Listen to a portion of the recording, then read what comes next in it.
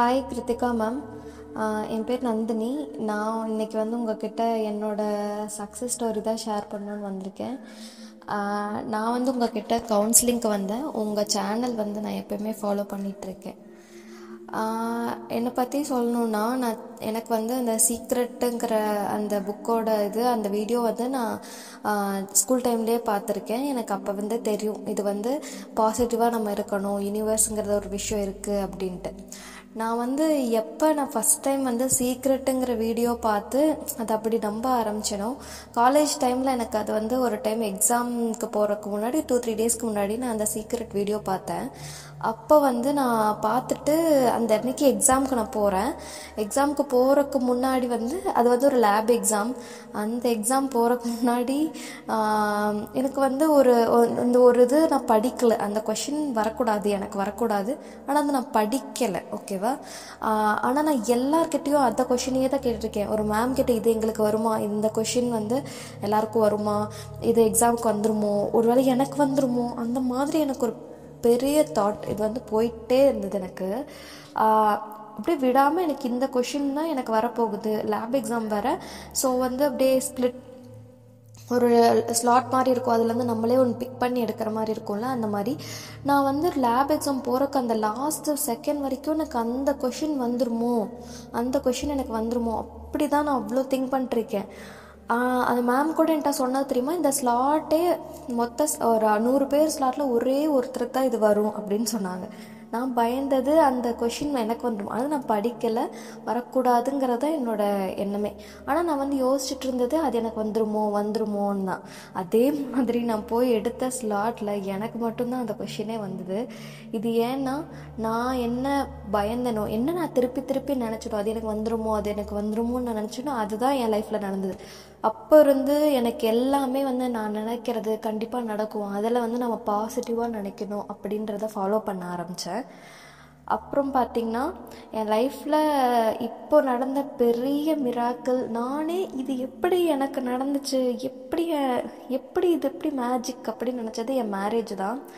நான் வந்து தேர்ட்டீன் இயர்ஸாக ஒருத்தரை லவ் பண்ணேன். லவ் பண்ணி கல்யாணம் பண்ணிட்டேன். ஸ்கூல்லேருந்து லவ் நான் வந்து இப்போது என்னோடய ஏஜ் வந்து டுவெண்ட்டி செவன் என் ஹஸ்பண்ட்க்கு வந்து என்னை விட ஒன் இயர் வந்து பெரியவங்க சீனியர் அந்த மாதிரி எனக்கு வந்து ஒரு ஹேபிட் இருக்குது சின்ன வயசுலேருந்தே ரொம்ப இமேஜினேஷன்லேயே இருப்பேன்.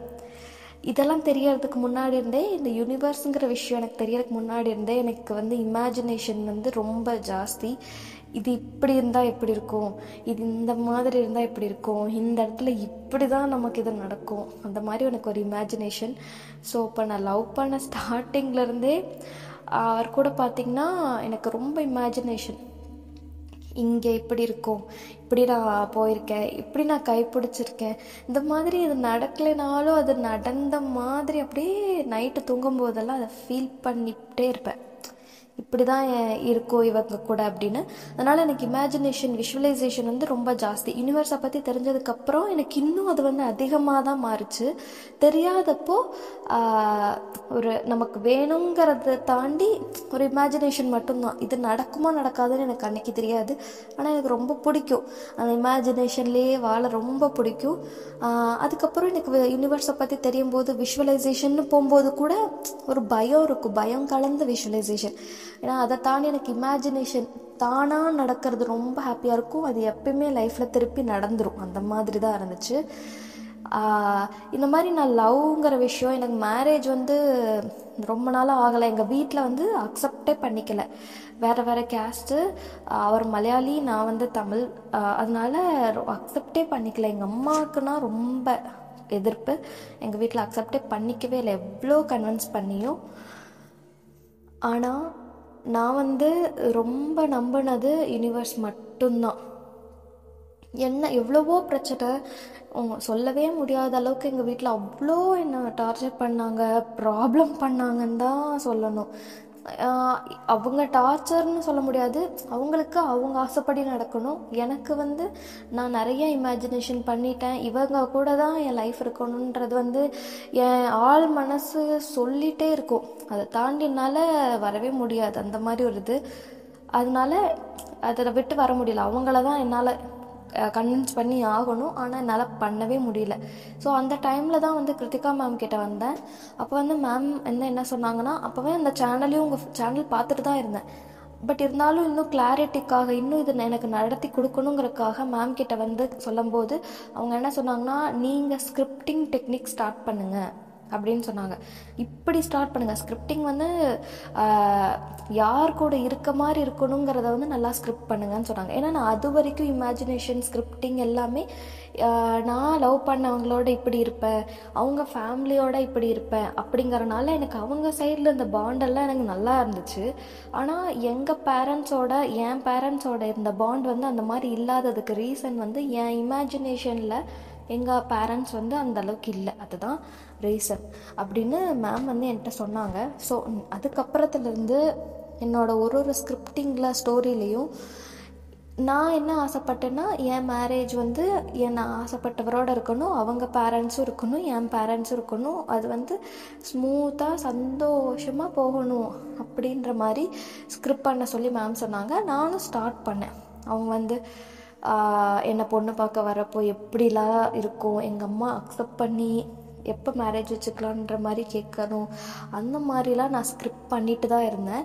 அது இல்லாமல் ஆனால் வந்து அது என்னோட சுச்சுவேஷன் வந்து என் நான் லவ் பண்ணுறவங்க வந்து நான் கொரோனா டைமுக்கு முன்னாடி துபாய்க்கு போயிட்டாங்க ஒர்க் பண்ணுறதுக்கு ஸோ லாஸ்ட் டூ இயர்ஸாக வந்து நான் மட்டும்தான் இங்கே இந்தியாவில் இங்கே இருந்துட்டு இருக்கேன். ஸோ ஆல்ரெடி எனக்கு வந்து மேரேஜ் ப்ரெஷர் வந்து ரொம்ப ஜாஸ்தி. அந்த டூ இயர்ஸில் இருந்தாலும் அதையெல்லாம் தாண்டி யூனிவர்ஸ் அதெல்லாம் தாண்டி இருக்குது யூனிவர்ஸ்ன்ற ஒரு விஷயம் இருக்குது அப்படிங்கிறத தாண்டி தாண்டி நான் வந்து போயிட்டு இருந்தேன். அப்புறமா லாஸ்ட் இந்த இந்த இந்த சுச்சுவேஷன் எப்படின்னா அவங்க வர போகிறாங்க நான் லவ் பண்ணிட்டு இருக்கவங்க இப்போ டூ மந்த்ஸுக்கு முன்னாடி வந்தாங்க ஆக்சுவலி அப்போது இப்போ வந்து நான் இந்த இதை எப்போனா அவங்க வந்து ஜூலையில் வராங்க. எனக்கு வந்து ஏப்ரலில் தெரியும்னு வைங்க. இந்த டேட்டில் வராங்கன்னெலாம் எனக்கே தெரியாது. ஆனால் எங்கள் வீட்டில் நான் சொல்ல ஆரம்பித்தேன் எனக்கு வந்து பண்ணி வைங்க நீங்கள் அக்செப்ட் பண்ணிக்கோங்க. ஏன்னா அவங்க வீட்டில் எல்லாருக்குமே ரொம்ப பிடிச்சிருச்சு என்ன அக்செப்ட் பண்ணிட்டாங்க. என் வீட்டில் தான் யாருக்கும் பெரிய இன்ட்ரெஸ்ட் இல்லை லவ் மேரேஜ் அப்படிங்கிறதுல. அவங்க வந்து ரொம்ப பயந்தாங்க. அதனால் அவங்க வந்து அலோவ் பண்ணவே இல்லை என்ன. அதுக்கப்புறம் அந்த லாஸ்ட் மேம் கிட்ட நான் போய் பேசினதுக்கப்புறம் ஸ்கிரிப்டிங்ஸ்லாம் நிறையா ஸ்டார்ட் பண்ணியிருந்தேன். இருந்தாலும் எனக்கு வந்து அது அந்த அளவுக்கு ஒர்க் அவுட் ஆகலை. ஓகேவா ஒர்க் அவுட் ஆகலை. பட் நான் வந்து டிசைட் பண்ணிட்டேன். எனக்கு வந்து கல்யாணம் பண்ணிக்கணும். ஏன்னா நிறைய இமேஜினேஷன் பண்ணிட்டேன். என் ஏஜும் ஆயிடுச்சு. பண்ணிக்கணும் அப்படிங்கிற மாதிரி. அப்போது வந்து நான் டெசிஷன் எடுத்துட்டேன். இதுக்கு மேலே நம்ம வீட்டில் வந்து அக்செப்ட் பண்ண கன்வின்ஸ் பண்ணவோ அவங்கள அக்செப்ட் பண்ண வைக்கவோ முடியாது. நம்ம தான் இதை வந்து டிசைட் பண்ணி ஒரு டிசிஷன் எடுக்கணும் அப்படின்னு. அதே மாதிரி நான் லவ் பண்ணுற விக்னேஷ் அவர் பேர். அவருமே வந்து சொல்லிட்டாங்க. இதுக்கு மேலே வந்து நம்ம ஏன்னா அவங்க வீட்டிலேருந்து எங்கள் வீட்டில் நிறையா டைம் வந்து கேட்டுட்டாங்க. பட் அது நடக்கவே இல்லை. இதில் மேஜிக் என்னென்னா நான் ஆக்சுவலாக என் கல்யாணம் நான் தான் வந்து அவர் அவர் வந்ததுக்கப்புறம் நாங்களாக டிசைட் பண்ணி ஆக்சுவலாக எங்கள் அம்மா அப்பா இல்லை. அப்படி தான் நான் கல்யாணம் பண்ணிக்கிட்டேன். ஆனால் நான் எப்படி பண்ணிக்கிட்டேன்னா நான் வந் ஆக்சுவலாக நான் ஆலியர் ஆலியார் அறிவித்திருக்கோயில் வந்து அங்கே அங்கே வந்து நான் யோகாலாம் கற்றுக்கிட்டு இருந்தேன் அங்கே போய் மகரிஷி ஆலியாரில் மகரிஷின்ற ஒருத்தர் இருக்கார்ல அங்கே வந்து நான் பயிற்சி எடுத்திருக்கேன் அங்கே கற்றுட்ருக்கேன் அப்படி இருக்குது அப்போ வந்து நான் ஒரு கட்டம் வரைக்கும் நம்ம அந்த மாதிரி ஒரு டெசிஷன் எடுக்கக்கூடாது பேரண்ட்ஸை மீறி பண்ணக்கூடாதுன்னு இருந்தது. பட் ஸ்டில் நான் அது பண்ணேன்னா இதுக்கு வேறு வழி ஆப்ஷனே இல்லை அப்படின்ற ஒரு டெசிஷன் தான் எடுத்தேன்.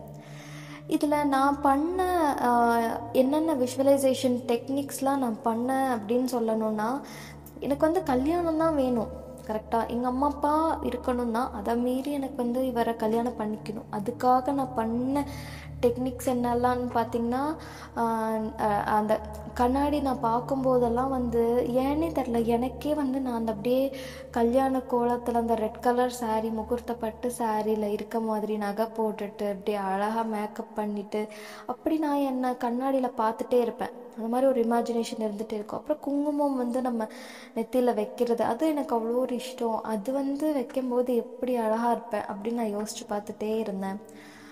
அப்புறம் வந்து மெடிடேஷன் பண்ணுவேன். காலையில் எந்திரிச்ச போதெல்லாம் காலையில் கல் எனக்கு இந்த முகூர்த்தம் கல்யாணம் அப்படி வந்து என்னை எனக்கு வந்து அவர் மாலை போடுறாரு. நான் அவருக்கு திருப்பி மாலை போடுறேன்.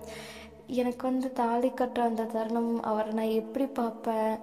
இந்த மாதிரி ஒரு டைம் அதை வந்து நான் அப்படி இமேஜினேஷன் பண்ணிகிட்டே இருப்பேன். எனக்கு ரொம்ப பிடிச்ச விஷயம். அந்த கல்யாண கோலத்தில் அவர் என்ன மா அவர் எனக்கு மாலை போடுறது அவருக்கு நான் மாலை போடுறது.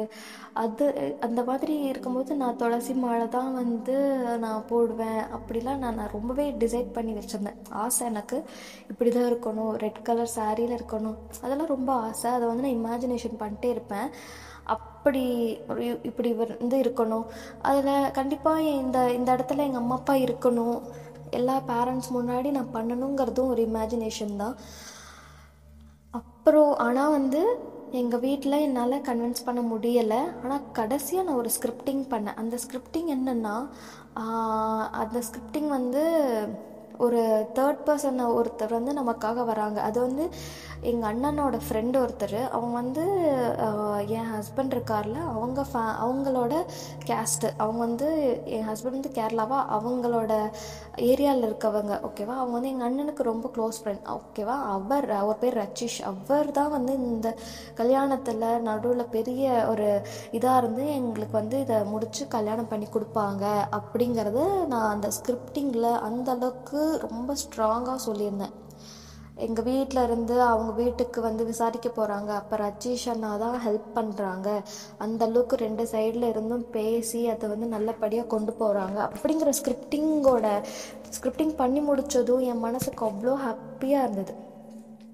அவ்வளோ சாட்டிஸ்ஃபைடாக இருந்தது. அந்த மாதிரி நான் ஒரு ஸ்கிரிப்டிங் பண்ணேன். பட் ஸ்டில் என்னோ என் ஹஸ்பண்ட் அவர் வந்து ஊர்லேருந்து அங்கே வந்துட்டாங்க. துபாயிலேருந்து இங்கே வந்துட்டாங்க. அந்த சுச்சுவேஷன் வந்து எங்கள் வீட்டில் அக்செப்டே கடைசி வரைக்கும் பண்ணல. ஏனோ தெரில அவங்க வந்து நீ போய் பண்ணிக்கோங்கிற வேர்ட்ஸ் வந்து நிறையா டைம் சொன்னது சொல்லிட்டாங்க. அதுக்கப்புறம் என்னால் என்ன பண்ணுறதுன்னு தெரியாமல் நான் டிசைட் பண்ணிட்டேன். ஓகே நம்ம இவரை கல்யாணம் பண்ணிக்கலாம். ஏன்னா நம்ம ஆசைப்பட்டது இவரை தான் அப்படின்னு நான் கல்யாணம் பண்ணிட்டேன். கல்யாணம் பண்ணுறதுக்கு முன்னாடி வரைக்கும் என் மனசு எப்படி இருந்ததுன்னா என்னடா நான் எவ்வளவோ ஏன்னா இமேஜினேஷனில் இப்படி இருக்கணும் இப்படி இருக்கணும் எல்லா பொண்ணுங்களுக்கும் இருக்க ஆசை மாதிரி என்னோட இமேஜினேஷனில் அதிகமாகவே இருந்தது. இப்படி தான் என் கல்யாணம் நடக்கணும் இப்படி தான் நடக்கணும் அப்படின்னு. இந்த மாதிரி சாரி இப்படி தான் இவரை கல்யாணம் பண்ணிக்கணும் இந்த இடத்துல தான் பண்ணிக்கணும். அவ்வளோ ஆசை இருந்தது. எனக்கு கேரளாலாம் ரொம்ப பிடிக்கும். அங்கே வந்து இந்த மாதிரி கேரளா சைடில் இருக்க பிரைட்ஸ் மாதிரி நம்ம ட்ரெஸ் பண்ணிக்கணும். அப்படி ரொம்ப ஆசையாக இருந்தது. ஆனால் எனக்கு நான் இப்போ இந்த மாதிரி டெசிஷன் எடுத்தனால நமக்கு இதெல்லாம் அமையாது அப்படின்ற ஒரு கஷ்டமாக தான் இருந்தது. ஆனால் நான் வந்து இமேஜினேஷன் வந்து ஒரு பல வருஷமாக பண்ணியிருக்கேன். பட் இந்த டெசிஷன் எடுக்கும்போது இது இப்படி இருக்கேன்னு இருந்தது. ஆனால் கடைசியில் என்னன்னே தெரில. இந்த டிசிஷன் எடுத்து இந்த லாஸ்ட்டு எனக்கு நான் அவரை போய் கல்யாணம் பண்ணிக்கிறதுக்கு முன்னாடி நாள் வந்து என்னோட மனசே மாறி போயிடுச்சு. மனசு வந்து ஒரு மாதிரி நிதானமாயிடுச்சு. அவ்வளோ நாள் நான் வந்து அவ்வளோ ஒரு மாதிரி குழப்பத்தில் இருந்தேன். என்ன நடக்க போகுது? எப்படி பண்ண போகிறேன் அப்படின்னு. அதுக்கப்புறம் அந்த ஆலியாரில் இருக்கிற அந்த சூழல்னாலேயோ என்னன்னு எனக்கு தெரியலை. யூனிவர்ஸ் என் கூடவே இருக்குன்னு என்னமோ மாற்றிருச்சோ ஆனால் அந்த கடைசி ரெண்டு நாள் அந்த டெசிஷன் எடுக்கிறதுக்கு முன்னாடி கடைசி ரெண்டு நாள் நான் பண்ண விஷயம் என்ன தப்பான தாட்ஸ் வந்தாலும் ஒரு நிமிஷம் அமைதியாயிட்டு எனக்கு எல்லாமே கரெக்டாக தான் நடக்கும். என் கூட பிரபஞ்சம் கூடவே இருக்குது நான் பார்த்துக்கிறேன் நான் பார்த்துப்பாங்க அவ்வளோதான் நான் நினச்சேன். அப்படியே கை தட் கை வந்து அப்படியே போடு நமக்கு இது நடந்துருச்சு அப்படிங்கிற மாதிரி நான் பண்ணிட்டே இருப்பேன். ஒன்றும் இல்லை அது நடக்க போகுது. என் கூட இவங்க இருப்பாங்க அப்படிங்கிறத மட்டும்தான் நினச்சேன். ஒரு ஒரு தப்பாக ஒரு ஒரு கன்ஃபியூஷன் ஸ்டேட்டுக்கு வரும்போதெல்லாம். அப்புறம் என் நான் பண்ண ஒரு சில இன்னும் பெரிய இமேஜினேஷன் என்னென்னா பாத்ரூம் தான். ஏன்னா ரூம்லேயோ வேறு இடத்துலையோ பண்ணால் வீட்டில் கேட்பாங்க என்ன நீ பண்ணிகிட்ருக்க அப்படின்னு. ஆனால் நான் எப்பயுமே பாத்ரூம் சூஸ் பண்ணிவிட்டு அங்கே போய் இது இப்படி நடக்கும்போது எப்படி இருக்கும்? ஒரு கார் வாங்கினா நான் இப்படி ஓட்டிகிட்டு போவேன். இந்த மாதிரி இருக்கும். அப்படின்னு அந்த அங்கே பாத்ரூமில் தான் பேசிகிட்டே நான் குளிப்பேன் பண்ணுவேன். அப்படியே இருக்கும். அதுக்கப்புறம் என்ன சொல்லுவேன்னா ஜீம்பூபா அப்படி தான் கூப்பிடுவேன் யூனிவர்ஸை இங்கே வா நீ அப்படின்னு சொன்னதும் அப்படியே நிறையா ஜீம்பூம்பா மாதிரி அந்த அந்த பொம்மை வந்து நிறையா என் ரூம் ஃபுல்லாக இருக்க மாதிரி நினச்சிக்குவேன். அவ்வளோ ஜீபூம்பா கிட்ட நான் என்ன சொல்கிறேன்னா எனக்கு வந்து இவரை தான் கல்யாணம் பண்ணிக்கணும் இப்படி தான் கல்யாணம் பண்ணிக்கணும் இதுதான் என்னோடய ஆர்டர் இதெல்லாம் நீங்கள் பண்ணி கொடுத்தீங்கன்னா நான் ரொம்ப சந்தோஷமாக இருப்பேன். இதை தான் நான் வந்து ஜீபூபா கிட்ட சொல்லிகிட்டே இருப்பேன். அது வந்து அந்த மாதிரி நான் சொல்லும்போது எனக்கு அவ்வளோ சந்தோஷமாக இருக்கும். ஜி பூபா இங்கே வா. எனக்கு இதுதான் வேணும். இதை பண்ணி கொடுத்தீங்கன்னா நான் அவ்வளோ ஹாப்பியாக இருப்பேன். இது மட்டும்தான் நான் சொல்லிகிட்டே இருந்தேன். இந்த விஷயம் நான் கண்ணாடி பார்க்கும்போது இமேஜினேஷன் பண்ணி என்னை எவ்வளோ அழகாக இருக்கேங்கிற பார்க்குற விஷயம். அப்புறம் இந்த நான் வந்து மேரேஜ் பண்ணிக்கிறதுக்கு முன்னாடி ரெண்டு நாளில் வந்து இன்னும் எனக்கு பெரிய ஆசை என்னென்னா எங்கள் எனக்கு வந்து இந்த சங்கல்பம் அப்படின்னு ஒன்று பண்ணுவாங்க. எங்கள் அம்மா கல்யாணத்துக்கு முன்னாடி இல்லை ஒரு பெரிய ஒரு நல்ல ஃபங்க்ஷன்னா அதுக்கு முன்னாடி அது நல்லா இருக்கணும்னு சொல்லிட்டு நூற்றி எட்டு தடவை அந்த ஒரு மந்திரத்தை சொல்லி அந்த மாதிரி ஒரு ஒரு சங்கல்பம் பண்ணுவாங்க. அப்போ அது மாதிரி எங்கள் அண்ணா கல்யாணத்துக்கெலாம் எங்கள் அம்மா பண்ணாங்க. ஸோ என் கல்யாணத்துக்கெல்லாம் அது நடக்காதுல்ல அப்படின்னு எனக்கு ஒரு மனசில் ரொம்ப ஃபீலு நமக்கு நடக்காதுல்ல அப்படின்னு. ஆனால் ஏனோ தெரில கல்யாணத்துக்கு முன்னாடி நான் யார் இந்த சங்கல்பமெல்லாம் யார் உருவாக்கி கொடுத்தது அப்படின்னா வேதாத்ரி மகரிஷி ஆலியாரில் தான். நான் அங்கே போய் பயிற்சி எடுத்தேன். கடைசியில் அங்கேருந்து தான் நம்ம ஒரு டிசிஷன் எடுக்கிற மாதிரி இருந்தது. ஒரு இத்தனை பேர் எங்கள் அம்மாவோட ஃப்ரெண்ட்ஸ் எல்லாம் வந்து எனக்கு சங்கல்பம் வச்சு என்னை வாழ்த்துவாங்கன்னு நான் நினச்சேன். ஆனால் அது நடக்கவே இல்லை. ஆனால் அதை விட ஒரு பெரிய விஷயம் நடந்தது. நான் மகரிஷியோட இடத்துலையே இருந்து அவர் கூட யாருமே இல்லை அந்த ரூமில் அங்கே வந்து ஒரு தனி ரூம் இருக்கும் தியானத்துக்குன்னு. அந்த ரூமில் எப்பயுமே ஆளுங்க இருப்பாங்க. நான் அன்னைக்கு பண்ணும்போது யாருமே இல்லை. நானும் அவரும் மட்டும்தான். நான் வந்து அன்னைக்கு சங்கல்பம் பண்ணேன். என் கல்யாண வாழ்க்கை சூப்பராக இருக்கணும். எங்கள் அம்மா அப்பாலாம் அப்படியே என் பொண்ணு எடுத்த டிசிஷன் தான் கரெக்டுங்கிற மாதிரி நான் அவ்வளோ செம்மையாக வாழணும். என் கூட நீங்கள் இருங்க. பிரபஞ்சம் என் கூட இருக்கணும். அப்படின்னு அந்த சங்கல்பத்தை நானே பண்ணேன் நூற்றி எட்டு தடவை. அப்போ எனக்கு இருந்த மனசில் எவ்வளோ ஒரு சந்தோஷம் தெரியுமா? எங்கள் அம்மாவோ எங்கள் அத்தனை பேர் இருந்த அதையெல்லாம் தாண்டி கடவுளே என் கூட இருந்து அவரும் சேர்ந்து சங்கல்பம் பண்ணுறாருன்ற ஒரு மனசு. அப்படி ஒரு சாட்டிஸ்ஃபேக்ஷன் இருந்தது அன்னைக்கு. அதுக்கப்புறத்துலேருந்து எனக்கு எந்த நம்ம இப்படி ஒரு டெசிஷன் எடுக்கிறமேன்னு ஒரு பயம் இல்லை. இது இப்படி தான் நடக்கணும்னு கரெக்டாக இருக்கும். அது அதுக்கப்புறம் நான் பண்ணிகிட்டே இருந்த ஒரு விஷயம் ஓகே நம்ம பண்ணிட்டோன்னு எங்கள் அம்மாவுக்கு இன்ஃபார்ம் பண்ணும்போது அவங்க வந்து அக்செப்ட் பண்ணிக்கணும். அதை வந்து அவங்க ஏற்றுக்கிற நிலமையில் இருக்கணும். அப்படின்றத நான் அவங்க இந்த மாதிரி என் குழந்த எனக்கு ஃபோன் பண்ணி இப்படி சொல்லும்போது எப்படி நான் வந்து ரியாக்ட் பண்ணணும்னா ஓகே இது அவங்க கேட்டாங்க நிறையா டைம் நம்ம பண்ணல ஓகே அக்செப்டபிள் அப்படிங்கிற ஒரு நிதானமான நிலமையில் நான் இருக்கணும். அந்த மாதிரி நிலமை தான் எங்கள் அம்மா அப்பாவுக்கும் இருக்கணும். அப்படிங்கிறத நான் இமேஜினேஷன் பண்ணிகிட்டே இருந்தேன். என்ன பண்ணேன்னா ஓகே நம்ம பொண்ணு பண்ணிட்டா.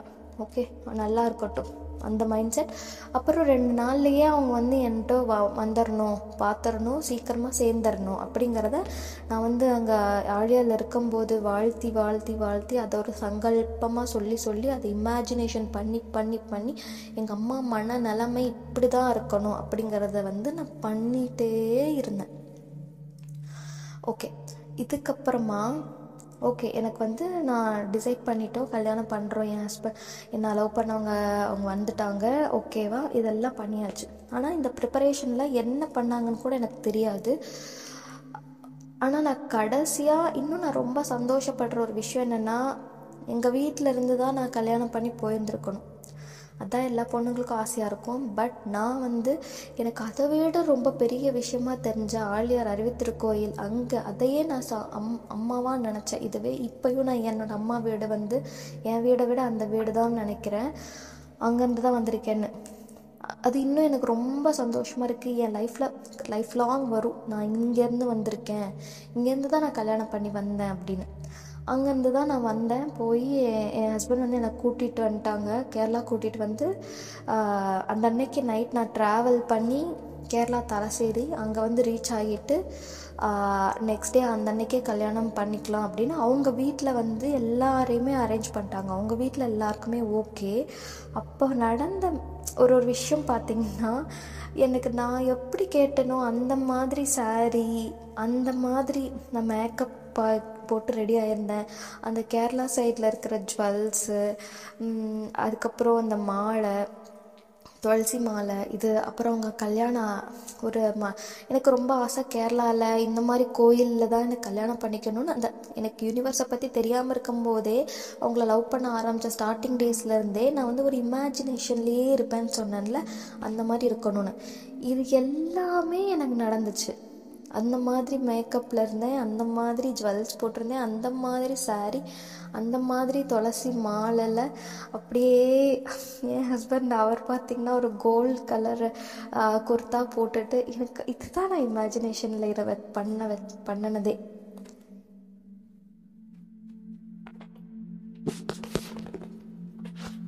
அவ்வளோ எனக்கு வந்து அந்த விஷயம் ரொம்ப ஹாப்பியாக இருந்தது. அன்னன்னைக்கு. அப்புறம் பார்த்திங்கன்னா அங்கே வந்து கல்யாண அரேஞ்ச்மெண்ட் எல்லாமே பக்காவாக பண்ணியிருந்தாங்க. எங்கள் என் ஹஸ்பண்ட் வீட்டு சைடில் கல்யாணம் ஒரு கோயிலில் வச்சு எல்லாமே அழகாக பண்ணியிருந்தாங்க. நானும் என் ஹஸ்பண்டும் நான் நினச்ச மாதிரி இப்படியெல்லாம் நான் இப்படி தான் கல்யாணத்தப்ப இருப்பேன்னு நினச்ச மாதிரி இருந்தோம். அப்புறம் அந்த மாலை மாத்திர செகண்டு எல்லாமே நான் ஃபஸ்ட்டே யோசிச்சு வச்சதெல்லாம் நடக்கும்போது அப்படியே எனக்கு ஒரு வைப்ரேஷன் யூனிவர்ஸ் எனக்கு கொடுத்தது. அவ்வளோ எனக்கு ஹாப்பியாக இருந்தது. இதிலலாம் நான் வந்து மிஸ் பண்ணது எங்கள் அம்மா அப்பாவை தான். பட் நான் அதை இமேஜினேஷனில் அவங்க அங்கே இருக்காங்க அவங்க என்னை வாழ்த்துட்டு தான் இருக்காங்க அப்படிங்கிறத மட்டும் நான் நினச்சிக்கிட்டேன். அவங்க எப்பயும் என் கூட இருப்பாங்க. இந்த செகண்ட் இல்லைனாலும் இனிமே இருக்க தான் போகிறாங்க அப்படிங்கிறத நான் ரொம்ப ஸ்ட்ராங்காக நினச்சிட்டு தான் நான் வந்து என் ஹஸ்பண்ட்க்கு மாலையே போட்டேன். அவங்க எனக்கு தாலி எடுத்து கட்டினாங்க. எனக்கு கண்ணில் அப்படியே தண்ணியாக கொட்டுச்சு. ரீசன் வந்து நான் எவ்வளோ நாள் ஆசை எவ்வளோ நாள் போராட்டம். இவர் எனக்கு கிடைப்பாங்களா மாட்டாங்களான்ற ஒரு ஃபீலிங்கெல்லாம் தாண்டி யூனிவர்ஸ் எனக்கு கொடுத்துருச்சு அப்படின்னு யூனிவர்ஸ் கிட்ட போடு நான் ஜெயிச்சிட்டேன் நீ எனக்கு கொடுத்துட்ட தேங்க்யூ அந்த ஒரு ஃபீலிங் இருந்தது எனக்கு அப்போது அவ்வளோ ஹாப்பியாக இருந்தது. எல்லாமே பக்காவாக நடந்தது. கல்யாணம் எதுவுமே வந்து நான் இப்படி வந்துட்டேனே ஓடி வந்துட்டேன். அந்த ஃபீலிங்லாம் இல்லவே இல்லை. யாருமே எனக்கு கொடுக்கல. அந்த நடந்த கல்யாணமும் அப்படி இல்லவே இல்லை. நான் ஆசைப்பட்ட விஷயங்கள் எல்லாமே அந்த கல்யாணத்தில் இருந்துச்சு. இதெல்லாம் வந்து எனக்கு அந்த செகண்டில் புரியலை. அப்புறமா நான் நெக்ஸ்ட் டே யோசிச்சு பார்க்கும்போது தான் எனக்கு தெரிஞ்சுது ஓ இந்த விஷயம்லாம் நான் யூனிவர்ஸ் கிட்ட முன்னாடியே கேட்டது தான் எப்படி இப்படி நடந்துச்சுன்ற ஒரு எனக்கு வந்து நம்பவே முடியல. என் கல்யாணம் மேஜிக் இது. ஓகேவா அப்படி இருந்தது. இந்த விஷயங்கள் இந்த ஒரு ஒரு விஷயங்கள் அப்புறம் பார்த்தா நெக்ஸ்ட் டேலேருந்தே எங்கள் வீட்டில் எங்கள் அப்பா ஃபோன் பண்ணி பேச ஆரம்பிச்சிட்டாரு. எங்கள் அம்மாவுக்கு வந்து என்னை பார்க்கணும் பார்க்கணும்னு ஆக ஆரம்பிச்சிருச்சு. அவ்வளோ அப்போஸ் பண்ணாங்க எங்கள் அம்மாலாம். ஆனால் அவங்க அப்பாவே வந்து மனசு மாறி என் பொண்ணை பார்க்கணும் அப்படின்னு மாறிட்டாங்க. அப்புறம் நான் ஒரு டென் டேஸ்லேயே என் ஹஸ்பண்ட் கூட்டிகிட்டு இந்த ஃபேமிலி மொத்தமும் கூப்பிட்டுட்டு நான் அங்கே போனேன். இதுக்கு நடுவில் ஒரு விஷயம் நடந்துச்சு. நான் சொன்னேன்ல ஸ்கிரிப்டிங்கில் வந்து ரச்சிஷ்னு ஒருத்தர் தான் எங்களுக்கு பெரிய ஹெல்ப் பண்ணுவாருன்றது. அதே மாதிரி தான் நடந்தது. நான் கல்யாணம் ஆகி ஃபோர் டேஸ் வந்து என் ஹஸ்பண்ட் வீட்லேயே நான் கேரளாவில் செட்டில் ஆகிட்டேன்.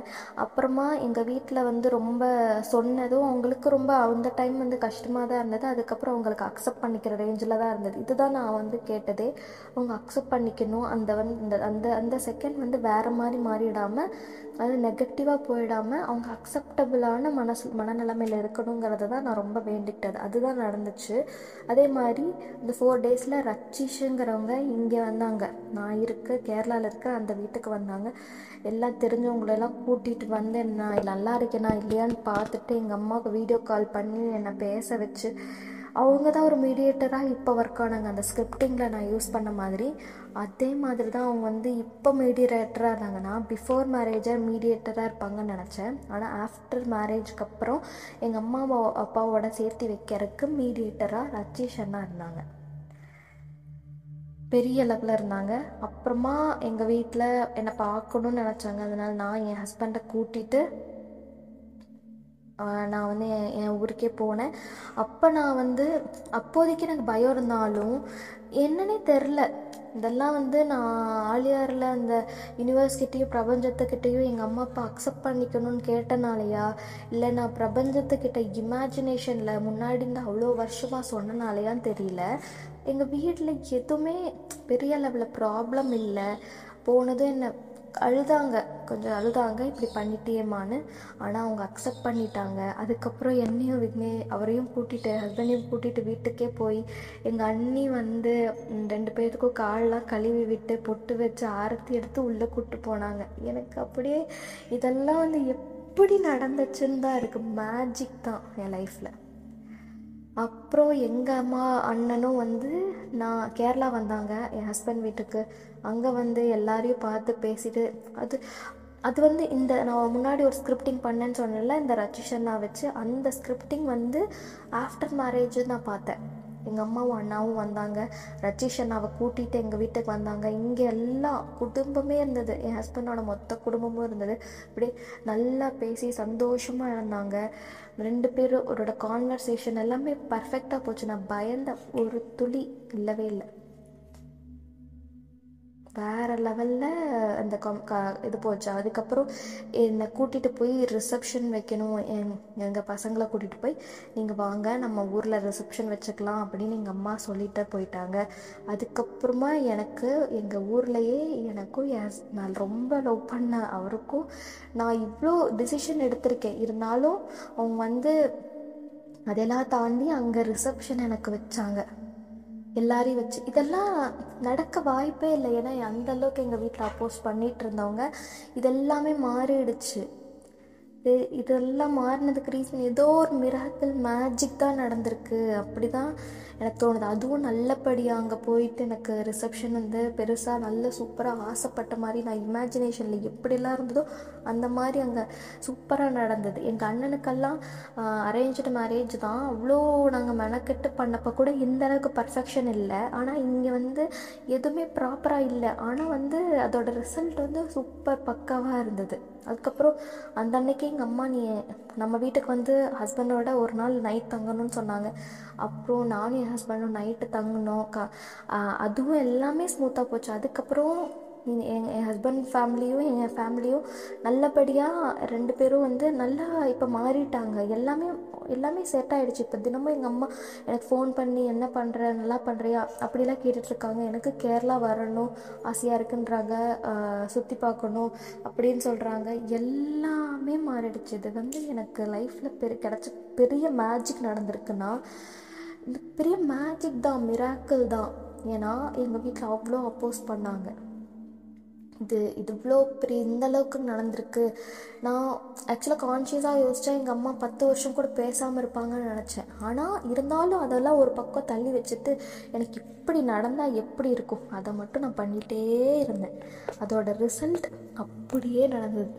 இப்படி நடந்தால் எப்படி இருக்கும்னு சந்தோஷமாக யோசித்த விஷயந்தான் இப்போ